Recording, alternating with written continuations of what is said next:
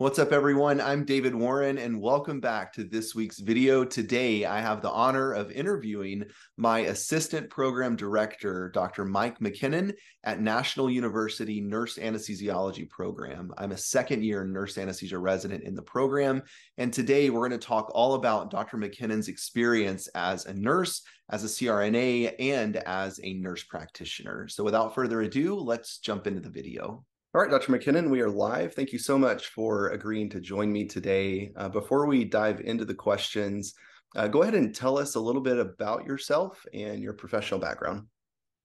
Sure, Dave. I'll give you kind of a background on me. Uh, so I am Canadian. You'll hear it uh, every once in a while uh, in the A's and that kind of stuff. And I originally was a uh, EMT in Canada and then I decided I wanted to do something else and went to nursing school, became an RN in Canada. It's a four year degree there.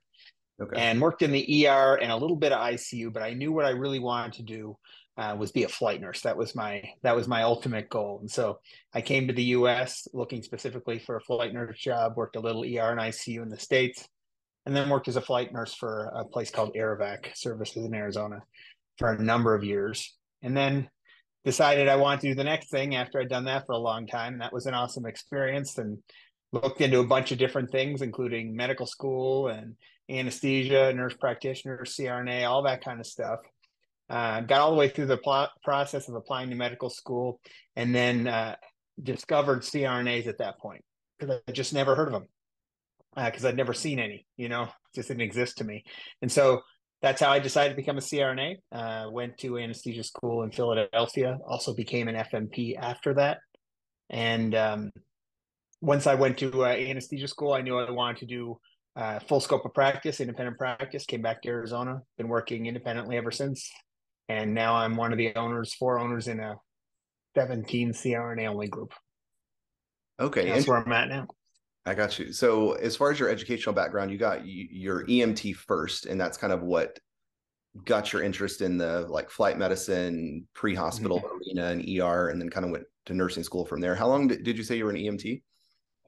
So I only did that for about a year, year and a half, and I knew I knew that there was nowhere to go there. You know, there was no like advancement, there was no next step. The great thing about nursing is that there was so many different options. You could work ER, ICU, flight, the do telemedicine, all kinds of stuff. And so that's what led me to the to the nursing side. Okay. And then what really prompted the you said you had like, you know, considered medical school and applied, and then you found out about CRNAs, kind of what prompted the switch to go the CRNA route? How did that come about? That's a great question. So I, you know, I never, I didn't have some dream to be a physician. It wasn't something that, you know, I'd always wanted what I always wanted to be. But I had gotten to the point in nursing where I felt like I had hit the cap. The the best it could get was being a flight nurse. You know, I was doing chest tubes. I was intubating people upside down in cars. I was putting in central lines. You know, I did pericardiocentesis. I mean, I did all the things, right? It was the coolest, most autonomous practice I'd ever had. And I knew I just wanted to do the next thing and at that time in my life, I did not know what a CRNA was. And the only experience I had with NPs was basically online forums when I was sort of searching what to do the next thing. And basically, the perception I got from basically detractors was that it was an assistant role. Right. And I didn't want to be someone's assistant because here I was in a helicopter intubating people with pushing drugs, doing whatever I thought had to be done, you know, coding them all by myself with my paramedic partner without a problem. So uh, my I, I had eliminated nurse practitioner as an option because of that perception I had gotten on basically internet forums, and so that's that's how I ended up uh, you know planning on this whole med school thing because I just didn't know what else to do. Okay. So I did all the pre med classes and did the MCAT and ended up getting on a wait list actually, and then that's right at that time was when I discovered uh, anesthesia for C- as a CRNA as a nurse anesthesiologist and I'm like, this is it for me. All the cool stuff, all the autonomy, all of the fun procedures, and woo, this was the thing. so all the worlds. Okay. Yeah, it got all the it checked all the boxes for me. Yeah. Okay. So part of this interview, I really want to later on dive into the dual NP and CRNA route. But before we get there, we'll do some kind of kind of some more background questions. So, um, where did you go to nursing school? So I am from uh, Halifax, Nova Scotia, in Canada. Uh, grew up in a place called Cape Breton Island, and I went to nursing school at a place called Dalhousie University, which is in Halifax, which is the capital of Nova Scotia. So that's where I went to nursing school. It's a four-year science degree there. Okay, and then for your anesthesia training, how did you? You were on the East Coast, I believe you said. How did you decide, or how did you end up there versus somewhere maybe on the West Coast or, or wherever? Is that just kind of where you applied and got in, or how did that work? You know, there's there was not much in the way of information online about CRNA schools. It just didn't exist at that time. And we're talking um, almost 16 years ago. So it was a long time ago. And there just wasn't anything there. And I didn't know where to go. And I had met online at that time, who later became one of my primary mentors, a lady named Jan Menino, who was a CRNA in California who owned her own plastic surgery center. And the surgeons came there and she did all the anesthesia. She was a past president of the American Association of Nurse Anesthesiology as well. Didn't know that at the time, met her on a, on a website form. And uh, she had invited me to come shadow her. And that's how I just kind of discovered that this was the thing I wanted to do in um, uh, Laguna Niguel in California. So this is clearly a nice place. And when when I went there, yeah, it was really nice. She had a great house and her job was awesome. And I thought, this is amazing. This is the thing for me. I get to do all the things. You know, like I said, checked all the boxes. Yeah. And uh, I started looking into applications. She, she said, well, you know, I know some some different program directors, and I know these schools. Why don't you try to apply there? And I'm going to write you a letter of recommendation. You know, and so I did, and that's how I ended up going to Thomas Jefferson University in Philadelphia uh, because she had written me a letter of recommendation, and the program director felt that was a you know high praise, and mm. um, was probably a large part of the reason why I got accepted there. Okay, and you're also a nurse practitioner as well. So how did I, we have a few questions to dive into with that? Um, I feel like it's not as common to see a nurse practitioner and a CRNA, the dual certification. What made you want to pursue both? And I guess kind of which did you pursue first? Yeah, I, I started off as a CRNA. Uh, so I became, uh, you know, a CRNA, and I did that for a number of years. And I decided um, I, I, moved to this rural community where I am now, where we provide a lot of rural anesthesia services in an underserved community to, uh, you know, a lot a lot of patients up here. And one, some of the things that are missing was pain pain practice. And I decided I wanted to do some chronic pain, fluoroscopic guided transforaminals, epidural steroid injections, SI joints, all that kind of stuff. And uh, while I can do the actual injections as a CRNA in the state of Arizona, what was what was confounding was the fact that I could not actually um, do the diagnosing or mm. write the H and P, the history and physical at that time. That was just how it was.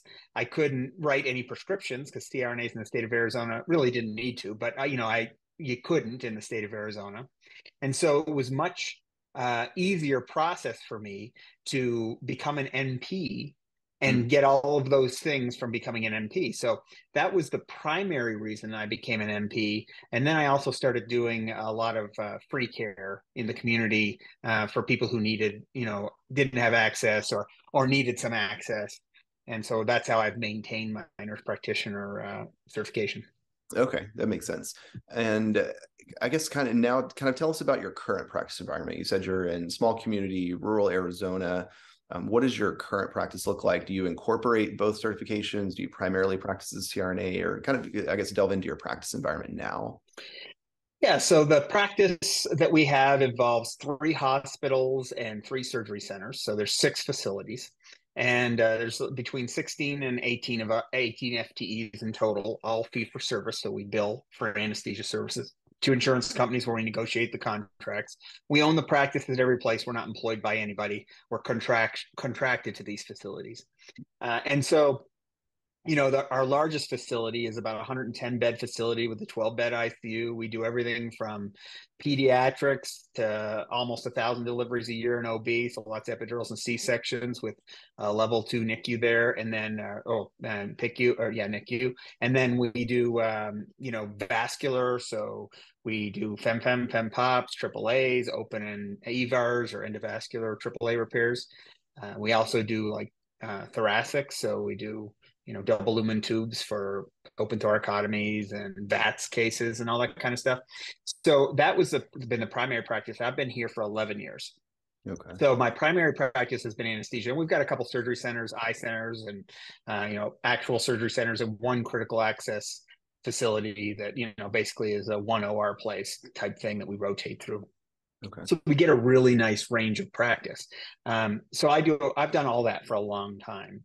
Uh, and then when I uh, started doing the pain practice, I was doing it at the surgery center, uh, the private surgery center where I was doing fluoroscopic guided injections. And so I was using the NP um, between the two. And to give you some information, I guess, about my perceptions about the utility of also being an FNP along with being a CRNA, you know, I would I would characterize the two differently in that uh, an, M, an FNP, I'll be specific because that's what I am an FNP, a family nurse practitioner, has a broad scope, but not super deep mm-hmm. from from like a, you know the uh, a depth of knowledge on every single topic. I think that's the nature of family practice, regardless of your initials. And then for anesthesia, the scope is a little bit more narrow, but it's extraordinarily deep in what you have to understand from each different disease process and perspective how it relates to anesthesia. So the educational processes are different, and uh, the benefit of the FNP side being a CRNA is that I also got to learn about all the things that really maybe were not d- directly important in anesthesia school like you know the where someone is on the algorithmic process of hypertension management or diabetes or in their COPD. And when I see those drugs, I recognize, oh, this person's way down the road. I mean, this is not a mild case of, you know, hypertension or COPD. They're on three drugs, they're on this, they're on that. You know, they're taking rescue inhalers all the time. So I have, I think, a better understanding of the chronic management of disease processes because I'm an NP because that's what you learn. I mean, that's really what you're doing, right? You know, in in in in the FNP world, you do something and three months later you check back with them and see how they're how it's working out. In the CRNA world, I do something and if it's not it's not doing something in five minutes, I'm doing something new, right? Like that's it's a totally different perspective on on what you're really doing. But I believe that that you know the NP stuff has helped trigger and and key in on things related to their history um, that really kind of could impact your anesthetic. And so there's a definite benefit there. That's how they overlap for me. Okay that makes sense. And where did you do your NP training? So i did my training at university of massachusetts uh, in boston. And it was uh, the didactics were mostly online, uh, and then there was a skills lab that you had to go to on a couple of four or five occasions. And it was a post master certificate because I had already had my master's as a CRNA. And so I didn't have to do their master's classes. All I did was the actual FNP classes. So, uh, and the clinical time. And I did all my clinical in my local area. I mean, the benefit of being here for a long time is that I basically know all the providers, physicians, PAs, NPs in the area, and I could rotate with them easily. I'm just like, hey, uh, you know, I got to do this much time, and you know, the things that people struggle with as an NP is that they have to set up their own clinicals. I did not struggle with that. I had people asking me to come because I knew them well, right? They were excited to have their buddy come and, you know, so I got to do a ton of deliveries in OB with my, one of my best friends is an OBGYN. You know, I spent, uh, you know, weeks and weeks in the office with him doing all the GYN stuff. And so I was lucky in that, you know, I didn't have that hurdle that I think a lot of NPs run into. There was nothing I had to struggled to get a hold of. I had lots of opportunity. Even got to do plastic surgery stuff and oh. OR stuff, and yeah, I got to be in the ER and I did all kinds of things. so it was great. It really comes down to who you know and your and the connections that you have. It's yeah. that way, I'm sure, in anesthesia as well, but really that way, kind of across the board in healthcare. I feel like. Um, so you, whenever you went to CRNA school, you got your master's degree, and you currently have a DNP degree. Um, mm-hmm. So tell us about that journey. Yeah, so when I finished uh, CRNA school and I had my master's degree, I think I said what uh, 99.9% of people said, I'm done, this is it, I'm not going to do anything else. And then I I think it was probably five or six years later, once I was in this practice, I did the FNP thing, uh, and I thought, oh, it's just a you know post masters. It'll be an easy transition. It didn't take very long to do. I think I did it in a year and a half or two years or whatever it was, you know, because it was the clinicals that takes the most time. Uh, and then um, I thought, well, this is it. I'm done. And then I knew I loved education. I'd always been lecturing across the country. I did it as a flight nurse. I, you know, I did it as an ER nurse, and um, I was doing it as a CRNA. And you know, I I'd lectured at national and state conferences, been involved in advocacy on both levels, and I recognized that education was a lot of fun for me, and I really enjoyed it. And so I knew that if I wanted to be involved in education in the future, I was going to have to have a doctorate. So um, when I recognized that was the case, I sat down and looked at what the options were. And you know, you basically there's three options people look at: a PhD, a DNP, and um, and uh, EDD those are really the ones that were the most common at the time. I didn't have a specific desire to to generate original research and do you know uh, bench work, so I didn't I didn't pursue the PhD or and the EDD at the time. I didn't think I was gonna you know that was going to be my focus was only education. So I did the DNP um, at University of Alabama in Tuscaloosa, Roll Tide, because I uh, that's right, man. Roll Tide. And and I did I chose there specifically because a number of my friends that were CRNAs had done their DNP there, and they found it to be very open as far as the kind of research you wanted to do. And I didn't want to do some fluffy BS stuff that I thought was a waste of my time and was just checking the box. And, and you know, in any doctorate degree, you can choose to do that be it a PhD or be it an EDD or a DNP or a DNAP. Uh, contrary to what maybe some detractors would say, there's an easy way out in all these options and any other clinical doctorate as well. Um, but I didn't want to do that. I wanted to do something that was meaningful. And so uh, I knew uh, UA was going to give me the opportunity to do that. And that's why I chose to go there. Okay. That kind of leads me into my next question, actually. So you're obviously my current assistant program director at National. So how did you yep. how did you get into higher education? You had mentioned earlier you kind of lectured and, and kind of got interested in that. But specifically for anesthesia, like how did you how did you end up being an assistant program director? I think it goes back to the uh, it's who you know and relationships you build. And my involvement in uh, lecturing and, and advocacy across the country has given me the opportunity to meet all kinds of people. And one of those people that I got really involved with was a guy named Dr. Brian Toon, who started the national program uh, from its very inception. And Brian and I became great friends, along with another CRNA named Scott Rigdon, and we all basically taught in a company together called CETU.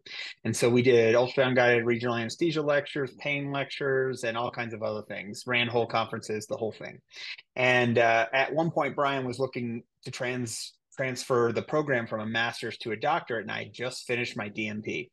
And he asked me, he said, "You know, you're just out. You, you would you be interested in designing and developing some doctorate courses for National University since we're we're transitioning to this DNAP, a Doctor of Nurse Anesthesiology practice, uh, you know, program because it, you know, it's where everything's headed." And I said, "Sure."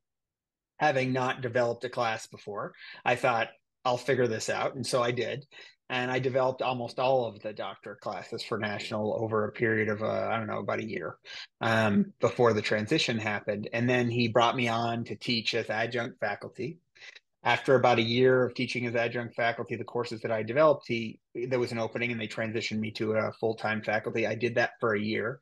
Dr. Toon uh, eventually transitioned out of the program, moving on to other things, and uh, Dr. Uh, uh, Joe Martin, who was the assistant program at the time, took over and called me and asked me if I would step up to be the assistant program director since I had done so many things for the program at that point, and that's how I ended up there. that makes sense and I feel like it's rare to see, at least in my experience, it's rare to see somebody who's like a top notch clinician and a top notch educator kind of all packaged into one. Usually the people that are in education, you know, aren't really good at clinical practice and kind of vice versa. Um, so that's interesting that because I feel like you're a top notch clinician and a top notch educator. And I feel like we need more people who are both you know who uh, who people who are teaching to know what they're doing every day in clinical practice versus someone sitting in you know the ivory tower. So i, uh, I think that's, that's accurate. The you know the problem with higher education in clinician higher education is has been that uh, the old saying that people can't do teach right? And what has attracted people to education and this is across the board not just for crnas you know unfortunately a lot of educators are people who see it as a retirement plan, right? Mm-hmm. They're not passionate about education, they just see it as oh yeah i can do this and not take call weekends or holidays and yeah i won't make as much money but hey you know it's easy. That's what they think going in. It's not easy but that's what they assume. There are people who are in some other clinical transition in their lives and just can't do clinical education. You know some people are those who have had maybe substance abuse issues in the past but they can they're still great crnas and can teach but they don't plan to stay. They're only going to do that for that period and then they transition out of that. Um, and it's other people who think of it as a family friendly kind of job, you know. And then there's a portion of people who are just excited to be educators. Unfortunately, the the the paradigm shift has been slow in my career to get away from that brick and mortar everything has to be sitting in class and someone talking at you for six straight hours and you hmm. know mm. ear murdering you basically where you take away less than a half an hour of the information end up having to learn it all on your own anyway that's the nature of higher education in my entire career mm. uh, and we didn't want that to happen at national and so what we wanted was to get the best clinicians who we knew were the best clinicians that were all independent crna practitioners in their own right totally capable and everyone is in our program who also had this love of teaching because you know to be honest teaching doesn't pay right? You know i make 4x in clinical and from my business than i make from being the assistant program director at national. I mean and it's w2 on top of that so it's it's like tax murder. So so you know the money's not there from the education side. So if what you're looking to do is is is you know kill it you're not going to do that in education. Yeah. And so we created a, a, a a, na- a natural program, and COVID really poured gas on a fire that was already happening. Mm-hmm. Uh, to transition to more online didactic and and spend more time in person in lab and focus more on the clinical skills and the clinical decision making and the critical thinking with people who actually do it every day that are experts in their own field. I mean, everyone who's listening to this has had the ACLS or PALS or NRP instructor who clearly never once performed ACLS, PALS, or NRP. I've done all those things, right? And I've done them all because I've been the decider, the decision maker, the person who's involved in the process at all levels of that. And uh, you know, there's a, I think there's a genuineness and a and a a and it translates in teaching when you've actually done these things. And so that's what we pattern national after. It's been super successful for us, I think. Awesome. Um, so I kind of now want to move into some of the NP and CRNA questions. So surprisingly, I've I've really had quite a few people reach out to me inquiring about being a nurse practitioner and a CRNA, and people wanting to pursue both degrees, and you know, kind of the questions that come with that. So you'd mentioned earlier, I guess my main question is what types of opportunities are available for someone to utilize both certifications? So obviously doing the pain practice or doing chronic pain management in like rural communities, are there like other things that you can think of where someone could utilize both types of certifications? You know, I think a lot of this is going to depend on state laws. Um, so if I take that out of the picture, right, what limitations a nurse practitioner or CRNA may have in one state or another, you know, versus another, that's something that that can be very different, right? So, for instance, in Arizona, I can't do an HMP as a CRNA, I can as an NP, but in other states, I can write prescriptions and do an HMP as a CRNA. So it it depends. I'll caveat it with that on your state law. But in the bigger picture, what opportunities are there? Well, a lot of states, uh, for example, uh, in a lot of states, you might want to open a med spa, that might be something that you're interested in or you might want to do a ketamine clinic or iv infusion therapy or any of those kind of things. Those two really mesh together well where some things you could do as a crna like ketamine infusions you might not be able to do as a nurse practitioner or as the medical director of a med spa as a nurse practitioner. In mm-hmm. some you know some places you it may be required that you're a nurse practitioner to be the medical director. A crna may not meet that role. Uh, but within the facility, you know, there's the opportunity to work within the ICU and do real, you know, critical care stuff uh, as a as a combined NP-CRNA. You're at a much uh, deeper level with critical care when you have both of those things. Um, you know, especially the CRNA side and critical care really care really helps. So I think there's an opportunity. The question I think then for the viewers is, you know, is the opportunity worth the cost, which is the time of the additional training. If you're going from NP to CRNA, it is. I mean, there's there's no question. You know, you can you can forex what you make as a CRNA, as an NP, as a CRNA. To do it to do it the other way, am I making a lot of money as an NP? The answer is no. But what it did do is provide opportunity and additional skill set that is hard to quantify, and the cost to become an NP was relatively low in comparison to both my DNP and becoming a CRNA. It was cheap, really. The postmaster's FNP was not expensive, so. Uh, dual roles are are difficult because how do you monetize them? You know, if you're if you're doing anesthesia in the OR and let's say the average CRNA gets paid 150 bucks an hour, that's just a, a blanket statement, not necessarily the average. And the average NP gets paid 60 an hour in the ICU, another blanket statement. Do they pay you $60 an hour when you go do your the work in the ICU and you get 150 in the OR? And is that worth it to you? You know, I mean that's that's the question because you're going to take a pay cut more than half in that in that particular example, and that's where it becomes an individual question. Yeah, I know that that really makes sense, and, and I feel like that that definitely is an individual question because there are, I don't know, there, I'm sure there are unique jobs out there for you know, especially when you have contacts and you know people and you're in small rural communities, I'm sure opportunities would present themselves for uh, for both types of certifications.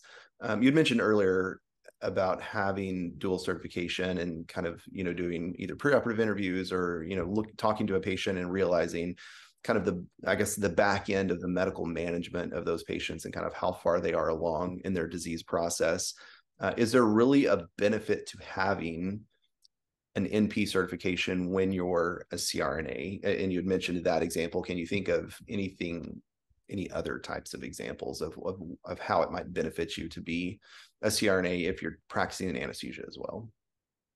I would say if you're already a CRNA, the benefit of the benefits related to becoming an NP are, are really kind of qualitative. It's difficult to like nail them down. It's like nailing water to a board, right?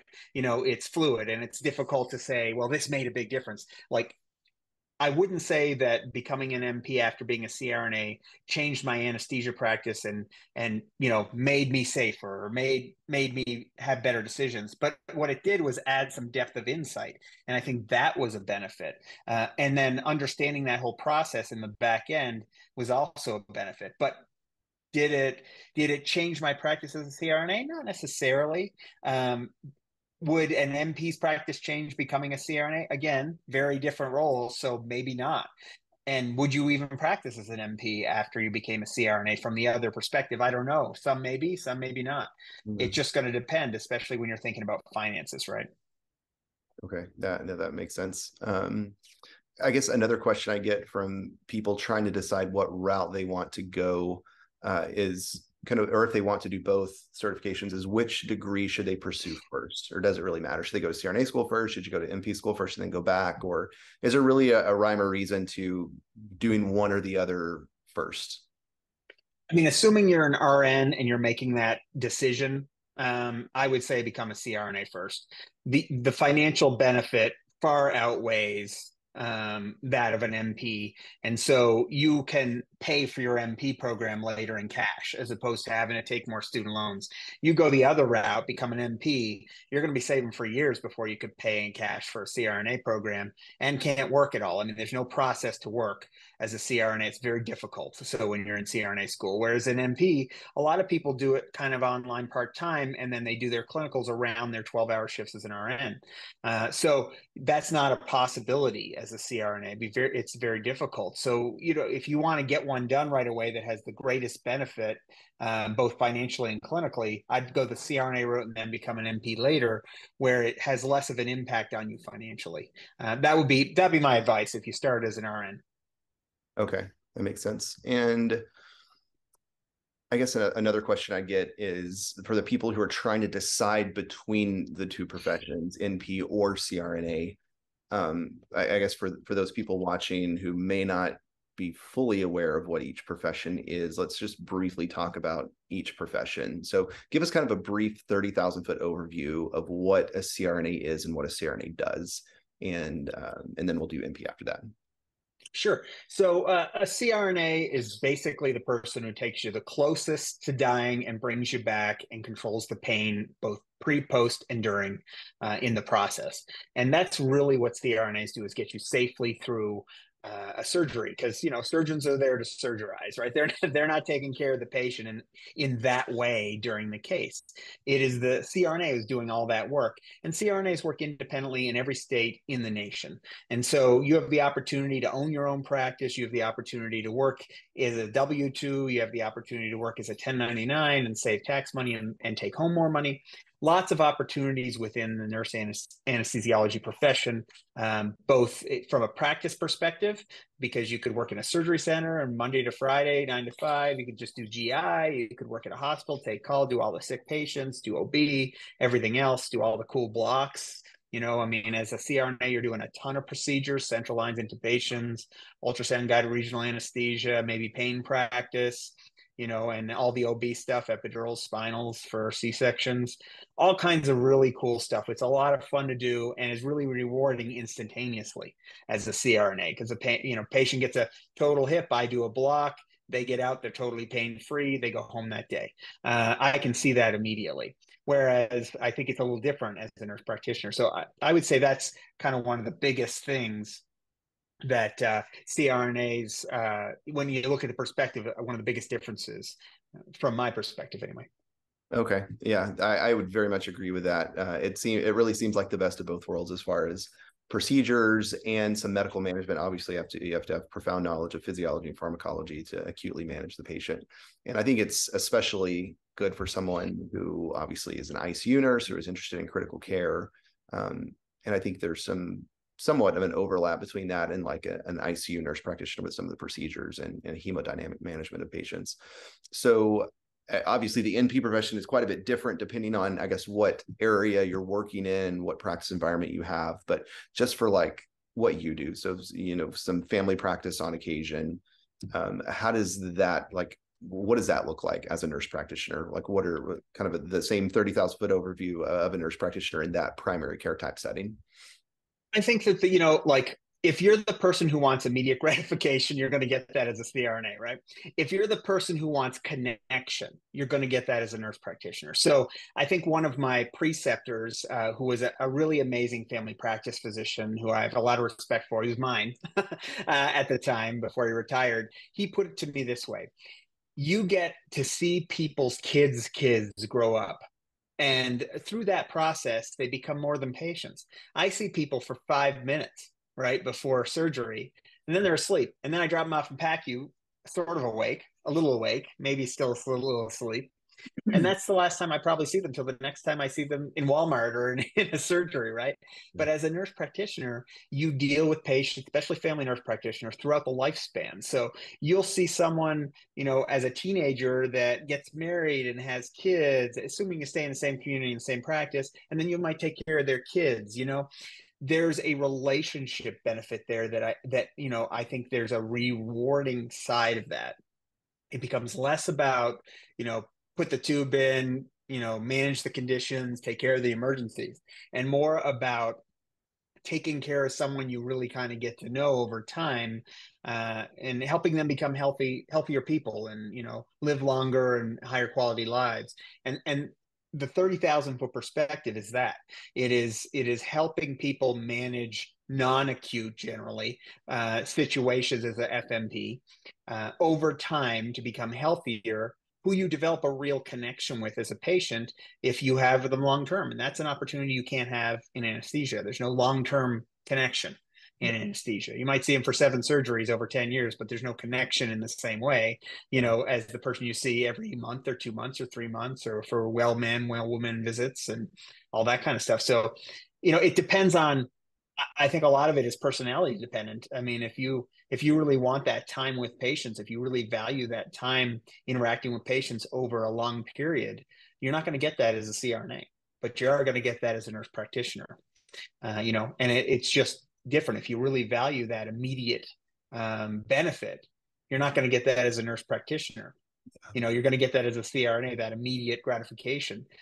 But as a nurse practitioner, you're going to get to see a process that is very rewarding where someone comes in and they're just so frustrated because they can't get their blood sugars or their their you know hypertension under control and you go through the process with them which is an investigative diagnostic process.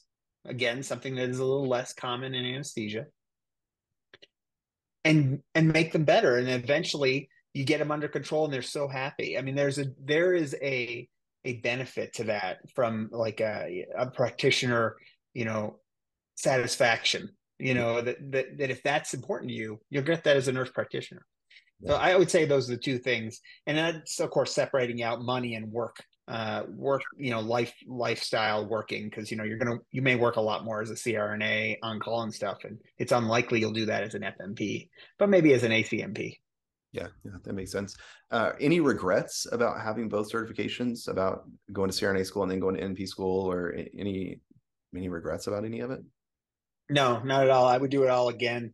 I will say this, you know, when I when I answered the question earlier about which you should do first, I would say definitely do the CRNA first if you're thinking of both because it gets complicated for programs to evaluate an NP's experience when they come to apply to the program. If if you're working as an FNP, you're not going to qualify for the experience unless it's really recent.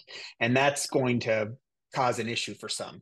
You know, if you're an ACNP, well then we'll have to look at the experience and determine what you do and then you know evaluate that so from that perspective it is better to do the crna first because it, it doesn't impact your ability to get into the NP program if you're a CRNA, but the other way it could. Uh, but yeah, no, I have no regrets. I, I would do it the same way I did it. Oh, that's awesome.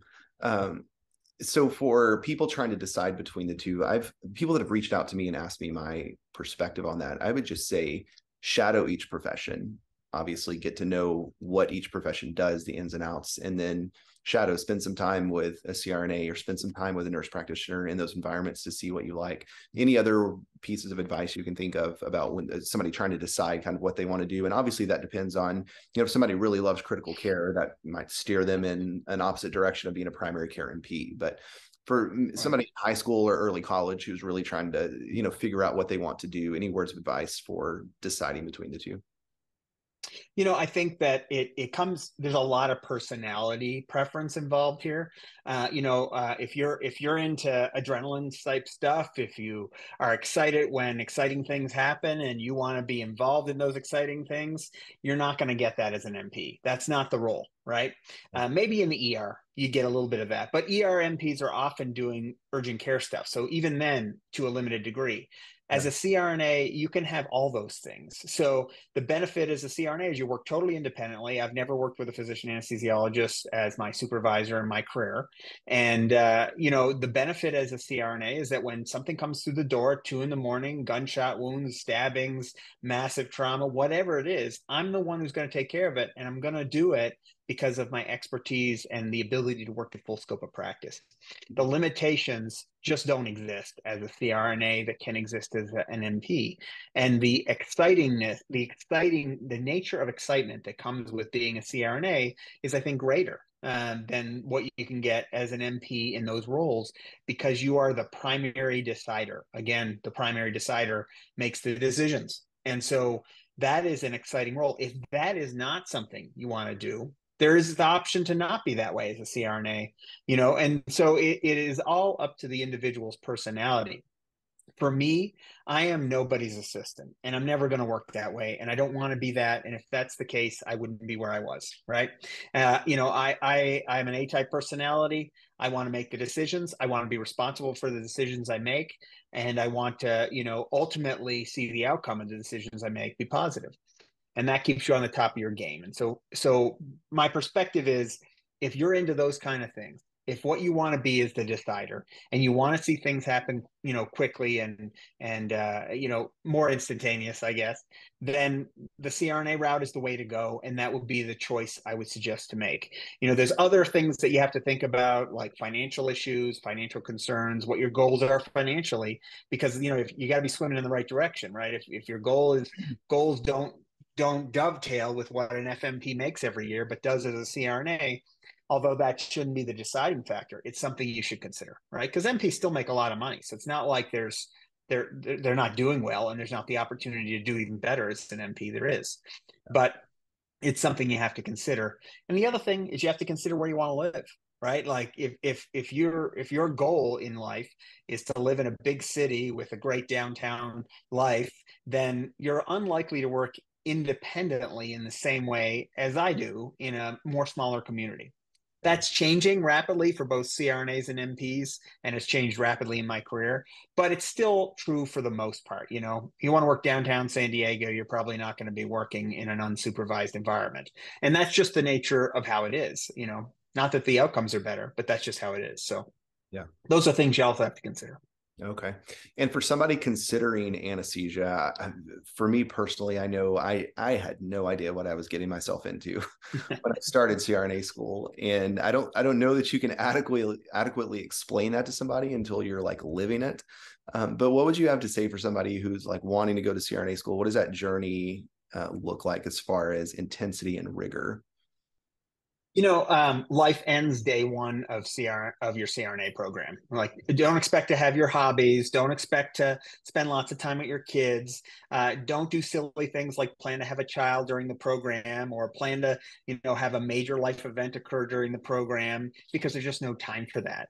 You know pre-plan and prepare your spouse for the nature of being an absent spouse for the better part of three three and a half years depending on the length of your program and so and that's just how it is because it is like drinking water from a fire hose and and uh, you know the rigor is significant. And we lose you know we have attrition in our program and every crna program does and because we're front loaded it happens in the first four quarters you know when the science and all of those courses are the the most volume the deepest and the busiest at you know time of your life and you're just not going to have time for all these other things. So you have to be prepared and plan for that it's not it's not going to nursing school where you know you're done at three and you're finished for the day and there's nothing else to do. That's just the nature of that educational process. It's not going in the clinical phase. It's not going you know to to you know eight hour clinical days. It could be 24 hours. It could be 36 hours. It could be you know 10 hours but it's rarely going to be short. That's just the nature of clinical in in the clinical residency in a nurse anesthesiology program. You just don't have that additional free time like you would that's even scheduled out. It's just there's no guarantees. And the time you spend in the didactic isn't half the time you spend studying on top of that later. So it's not like, yeah, your classes are all done that day at five o'clock and you're done for the day. You're going to spend another half of your waking hours reviewing, studying, taking notes, and internalizing the whys and critical thinking uh, related to the content in the evening and the weekends and the holidays and the weeks off. And so that's just the nature of the beast. And it really should be because, you know, CRNAs, as I mentioned earlier, bring people the closest to death they can get and back and control their pain. And that the expectation is safety, right? And CRNAs have a, a stellar safety, safety record, equivalent to every other anesthesia practitioner, including physicians. There is no difference in the outcomes or the processes or the skill set or you know the whole the whole process of anesthesia regardless of your initials. And in order to be that person to be the first profession to do anesthesia as a full-time profession dentists did it first give them credit but then they never did it again and crnas took over right? And then physicians came in later.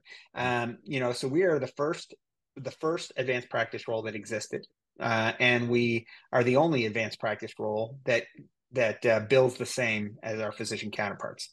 And so the expectation is that your outcomes and capability are equivalent, and that requires a rigorous program. And that's why the CRNA program is as hard as it is. I uh, agree with every word you've said. It has been. Uh, it, it is quite the challenge, but uh, very much worth it in the end. Um, that really yeah. wraps up all the questions I had for you today. I greatly appreciate you taking the time to uh, come on the interview. Uh, any last parting words? Anything you want to say to people watching? Yeah, you know, like uh, life is short. You know, decide what it is that you want to do, yeah. pick it, and run down that road full steam ahead. Because ultimately, this is the most rewarding career I've ever had, and I've done a lot of really cool things. I mean, I got to fly around a flight suit in a helicopter. I got to put in chest tubes on the side of the road. I got to do all the cool things And there is nothing that compares to what I do today.